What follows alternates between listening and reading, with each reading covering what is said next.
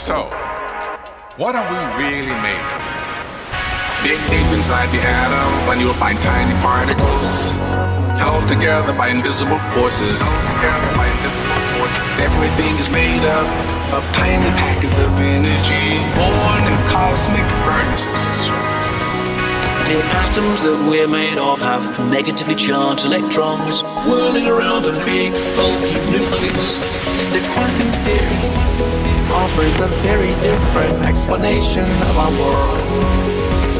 The universe is made of 12 particles of matter, four forces of nature.